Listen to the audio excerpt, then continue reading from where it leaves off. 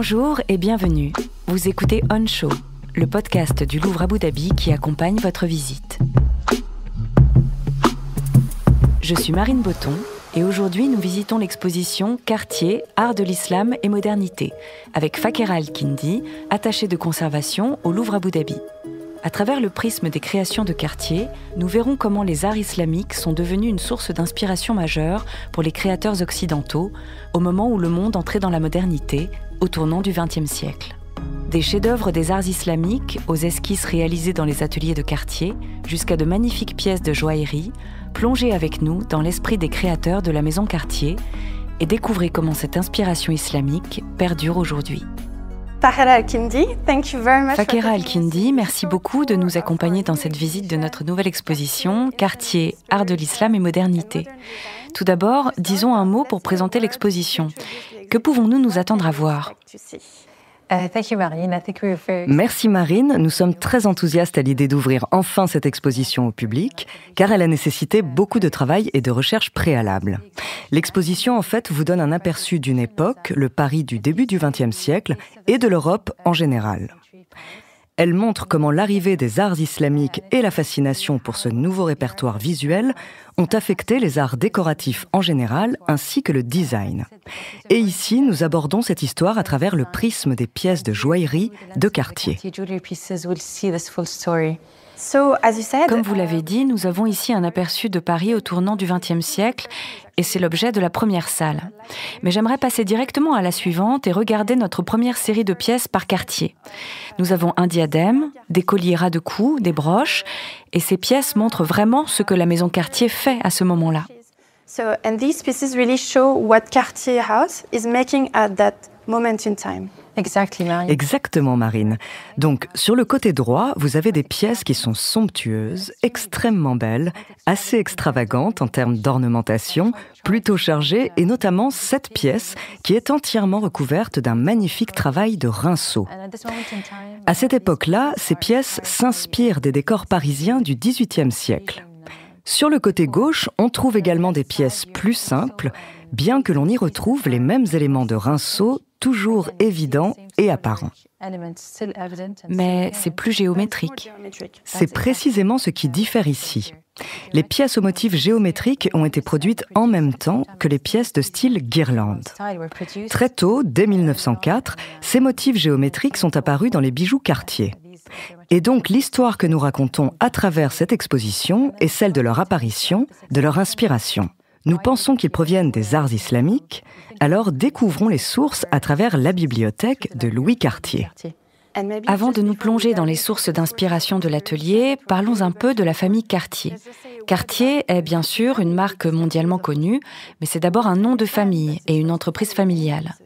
Quelles en sont donc les figures et les personnages clés Les personnages clés euh, qui ont joué un rôle déterminant tout au long de ce parcours qui est exposé et vu à travers ces œuvres d'art ici sont les trois frères. Il y a Louis, qui était responsable de la maison et de la direction artistique, Pierre, qui était plutôt le businessman de la maison, et Jacques, qui a joué un rôle important dans l'introduction des influences indiennes dans le monde de quartier, puisqu'il s'est rendu en Inde en 1911 et qu'il est passé par cette région également. Mais même avant eux, la maison a commencé avec Louis-François Cartier. Le fondateur. Oui, et puis Alfred, qui est leur père. Et il est important de savoir que Cartier n'était pas seulement une maison de joaillerie, mais qu'elle faisait également commerce d'antiquités et d'œuvres d'art. La connaissance de ce contexte nous permettra de comprendre comment ils ont eux-mêmes réuni et rassemblé les collections, comment elles étaient ouvertes à leurs ateliers et comment ces œuvres ont joué un rôle dans les recherches visuelles qu'ils ont effectuées.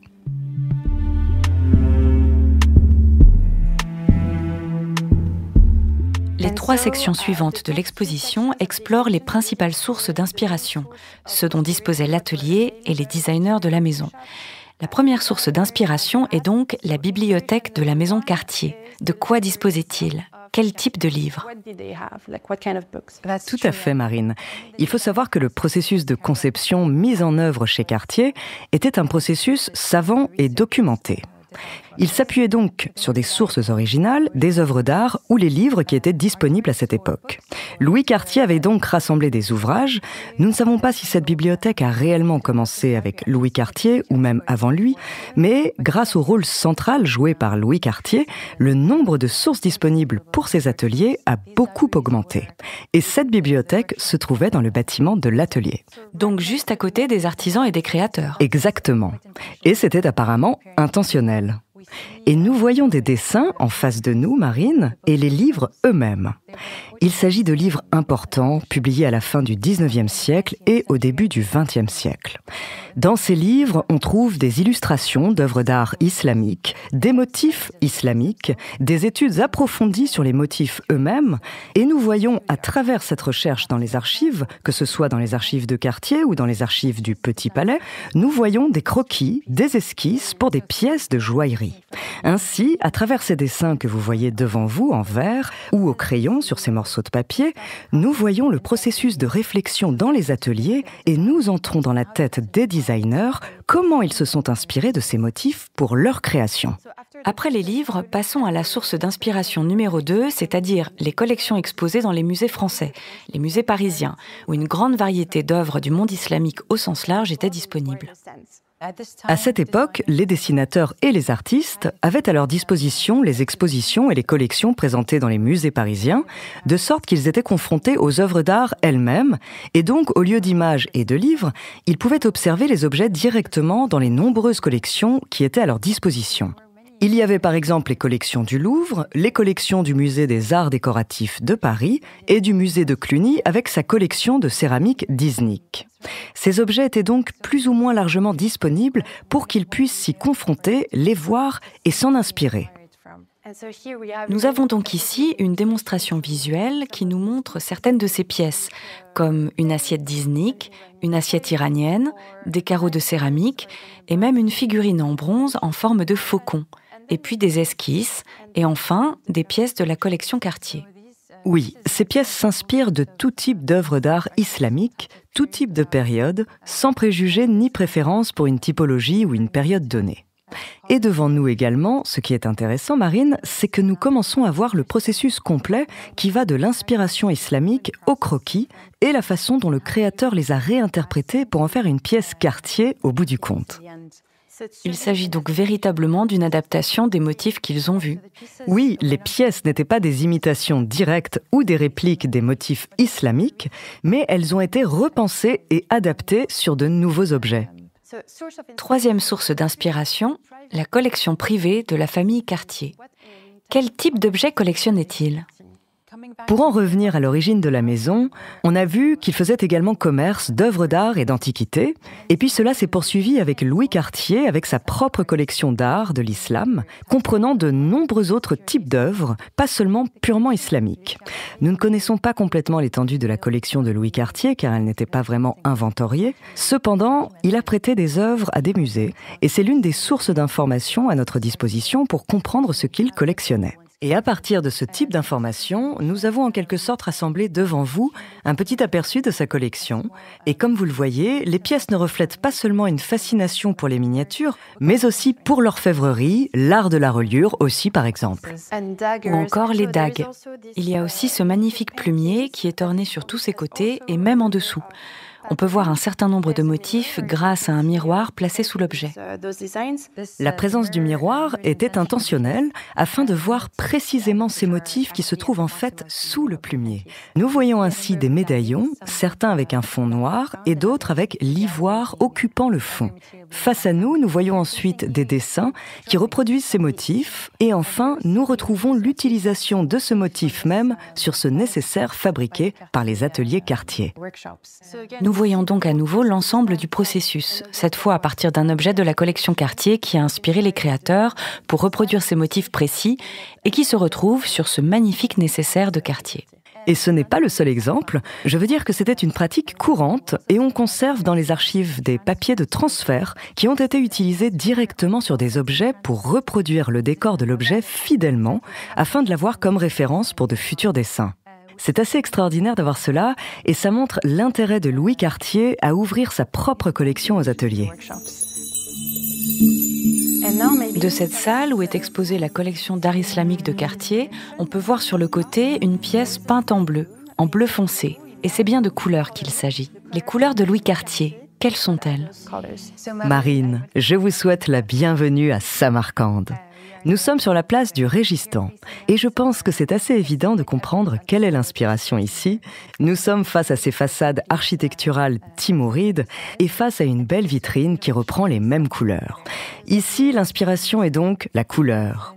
Lorsque les arts islamiques ont été présentés pour la première fois aux publics européens, les ornements, les motifs ont été des sources d'inspiration, mais aussi les couleurs, et des palettes de couleurs qui étaient nouvelles dans ces milieux. Ici, le lapis-lazuli est mélangé à la turquoise et à l'émeraude. Cette combinaison de bleu et de vert a été introduite par la maison Cartier. Et ce qui est intéressant, c'est que non seulement c'était nouveau, mais c'était aussi assez audacieux d'introduire cette combinaison de bleu et de vert, car apparemment c'était plutôt mal vu dans le milieu des créateurs du Paris de l'époque. On pensait que le mélange de ces deux couleurs était de mauvais goût. Cela a-t-il été un succès? Je crois que oui. Je crois que ça a été un succès parce que beaucoup de productions ont continué d'utiliser de telles combinaisons de couleurs. Poursuivons notre visite. Nous retrouvons le parcours principal de l'exposition, mais avant de continuer, nous allons faire un détour par le milieu de l'exposition. L'exposition a un peu la forme d'un U et au centre, il y a cet espace spectaculaire. Dans cet espace fascinant et monumental, Marine, nous sommes face à des exemples de motifs qui ont été introduits dans le répertoire de quartier et qui ont été utilisés à plusieurs reprises au cours de leur histoire. Et cela se passe dans ce magnifique espace où nous avons cette très longue vitrine qui joue aussi avec les volumes. On a donc une longue table, comme une table d'études d'une certaine manière, parce que cette table est divisée en sections, et chaque partie est dédiée à un motif particulier. Et en effet, la galerie est intitulée Le lexique des formes. Et ainsi, on y trouve des mandorles, on y voit des rinceaux, on voit tout type de formes et de motifs qui ont inspiré Cartier. C'est vraiment une démonstration visuelle. Je pense que vous l'avez parfaitement exprimé, Marine, c'est exactement cela. Avec cette table d'études, on peut entrer dans le processus de réflexion, dans l'esprit des créateurs, avec des exemples concrets de l'utilisation des motifs islamiques dans des créations. Comme vous le voyez devant vous, vous avez des œuvres d'art islamiques, et même si ce ne sont pas les pièces exactes qu'ils ont utilisées, ce sont des exemples similaires de la même typologie d'objets. L'une de mes préférées est cette reliure décorée de rinceaux. Jetons-y un coup d'œil. Oui, nous avons donc ici des nécessaires, des étuis à cigarettes qu'on retrouve dans toute la production de quartier et qui sont ornés de tels rinceaux. Les rinceaux, les compositions végétales, sont l'un des piliers des ornements islamiques. Face à vous, il y a aussi cette plaque d'ivoire provenant de la collection du Louvre Abu Dhabi et derrière l'inscription oui, il y a une inscription, mais derrière, un peu caché, on trouve... Ces rinceaux. Ces compositions se retrouvent dans beaucoup d'œuvres d'art de l'islam, que ce soit dans l'art du livre, dans l'architecture ou dans d'autres objets, et nous les voyons ici utilisés sur les objets de quartier. Et peut-être qu'il est intéressant de mentionner que nous avons ces magnifiques étuis à cigarettes, mais aussi, juste au-dessus, la présentation spectaculaire d'un diadème avec à nouveau ces motifs de rinceaux, mais cette fois dans un matériau différent. Oui, il s'agit cette fois de cristal de roche, et le motif en relief est en fait lié à l'une des illustrations d'un livre important d'Owen Jones. On a ici exactement des mêmes lignes, le même dessin. Nous voyons donc ici le passage fidèle de la publication à l'objet jusqu'à l'œuvre finale. Il est également important de savoir que ce type de rinceau avec ses gazelles qui sautent était assez largement utilisé à cette époque dans les arts décoratifs, dans la mode, comme nous l'avons vu dans la première pièce, sur la veste par exemple, c'est exactement le même motif. Oui, l'inspiration de l'art islamique à travers ses motifs et ses couleurs s'est diffusée dans toute la création artistique de l'époque. En effet.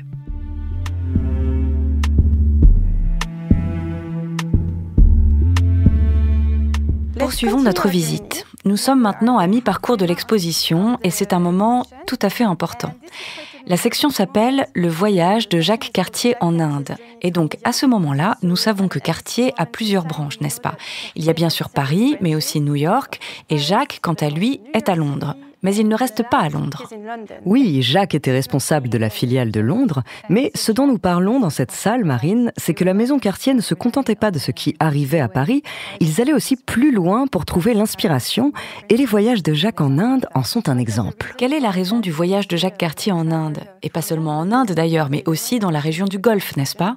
Jacques Cartier a voyagé en 1911. Son but principal était d'assister au Durbar de Delhi à l'occasion du couronnement du roi George V en tant qu'empereur des Indes, et c'était aussi une opportunité pour lui de rencontrer de nouveaux clients, de rencontrer de nouveaux Maharajas, et nous avons en face de nous des images de telles occasions, de telles rencontres aussi. Il a donc fait le tour de l'Inde, de Delhi à Agra, à Jaipur, et il a voyagé depuis Marseille et Port Saïd pour revenir dans la région. Il est allé à Mascate, il a fait escale à Dubaï, et il est allé à Bahreïn pour trouver des perles, mais finalement il n'en a pas acheté parce que le commerce se faisait par l'intermédiaire de marchands indiens.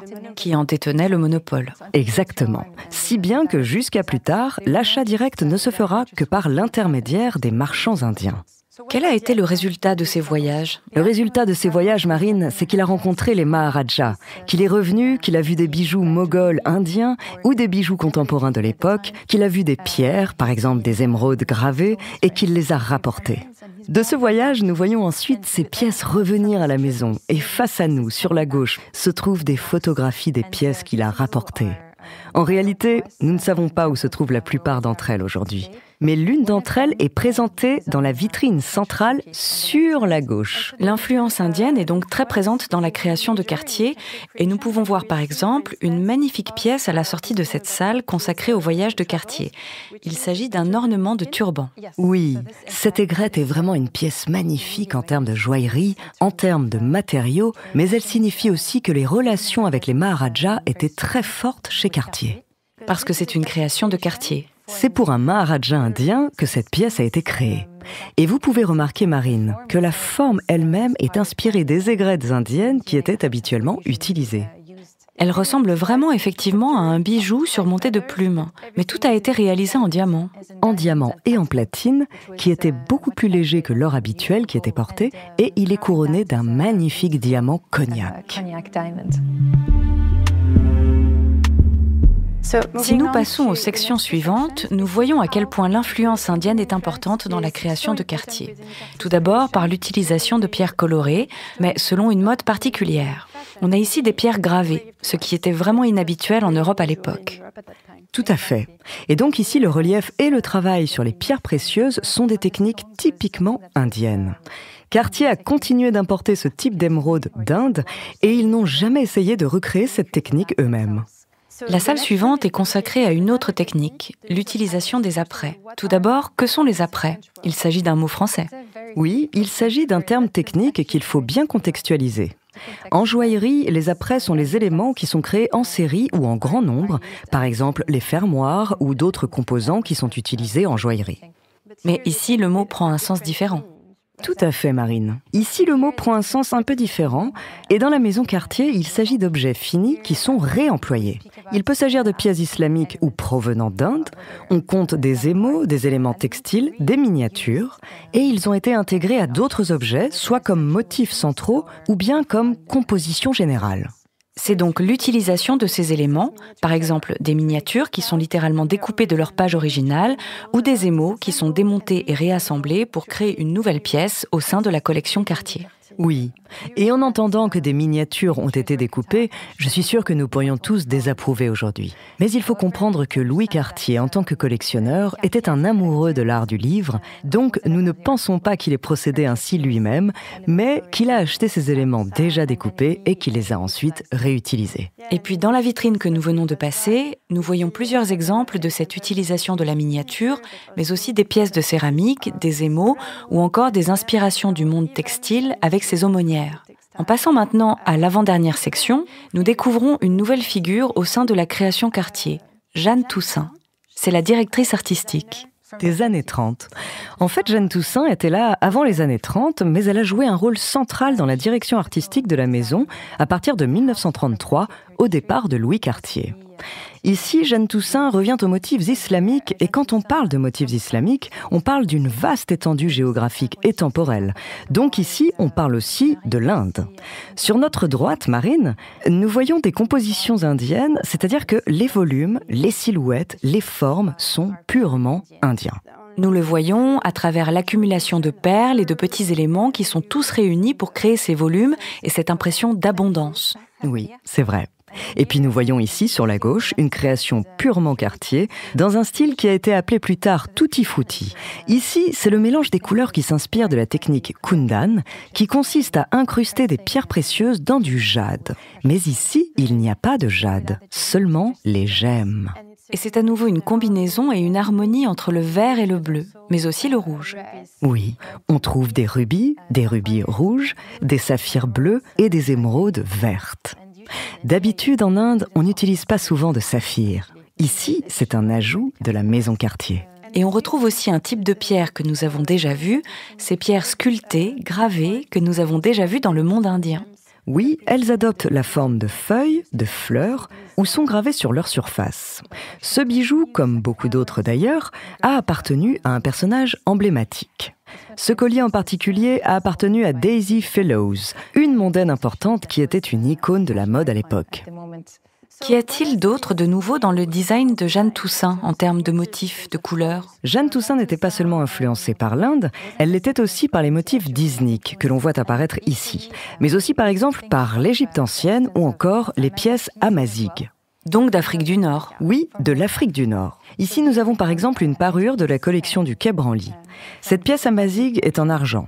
Et nous voyons les motifs. Vous voyez, Marine, les motifs triangulaires qui sont réutilisés dans ces créations de Jeanne Toussaint qui ont été produites dans les années 1960 et 1970. Et ici, vous remarquerez que les volumes sont différents, l'échelle des productions sont également différentes au cours de cette période plus tardive. Passons maintenant à la dernière section. Cette section est vraiment un témoignage de la façon dont les motifs, les dessins, les couleurs, les techniques que nous avons vues jusqu'à présent et provenant du monde islamique ont tellement imprégné la création et l'ADN de Cartier que cela continue aujourd'hui. Et nous sommes entourés d'un ensemble de pièces exceptionnelles qui sont toutes, je crois, du début des années 2000, avec face à nous une présentation spectaculaire, peut-être la plus spectaculaire de l'exposition. De quoi s'agit-il? Comme vous pouvez le voir, Marine, nos yeux sont attirés par cette vitrine. C'est une vitrine en mouvement. Nous l'appelons la vitrine qui respire. Et elle reproduit ce mouvement et montre comment la structure de ce collier est très malléable et s'adapte au corps. C'est vraiment un design et une structure très ingénieuse en soi. Mais ce qui est également important à propos de ce collier, c'est qu'il montre que les motifs géométriques se perpétuent jusqu'à aujourd'hui et que ces lignes, ce fil d'inspiration qui ont commencé à la fin du 19e siècle, existent toujours aujourd'hui. Oui, et nous en voyons ici une interprétation très moderne dans ce collier, car il se compose de nombreux hexagones. Ces motifs à six côtés, qui ressemblent presque à des molécules, et pourtant son inspiration est héritée des motifs islamiques, comme les carreaux de céramique par exemple, que l'on trouve dans les mosquées et dans tant d'autres productions. Tout à fait, et l'on peut imaginer comment cette composition peut continuer à l'infini grâce à ces hexagones initiaux. Voudriez-vous dire un dernier mot pour conclure notre visite? Cette section montre que ces motifs et fils d'influence qui ont commencé au XIXe siècle se poursuivent jusqu'à aujourd'hui. Nous retrouvons encore les tutti frutti, les compositions et les palettes de couleurs indiennes qui se poursuivent jusqu'à aujourd'hui. L'utilisation d'émeraude qui est toujours d'actualité, ainsi que les motifs islamiques qui ont exercé une fascination dès leur introduction. Qu'est-ce que les visiteurs devraient retenir de cette exposition? Je pense que cette exposition est un exemple de la façon dont les répercussions de l'arrivée des arts islamiques et le développement du marché de l'art islamique à Paris ont eu très rapidement un effet sur les créateurs. Nous le voyons ici à travers le prisme de la joaillerie Cartier, mais il ne faut pas oublier que ces influences se poursuivent dans une variété de domaines artistiques et pouvaient être observées ailleurs également. Merci beaucoup. Merci Marine.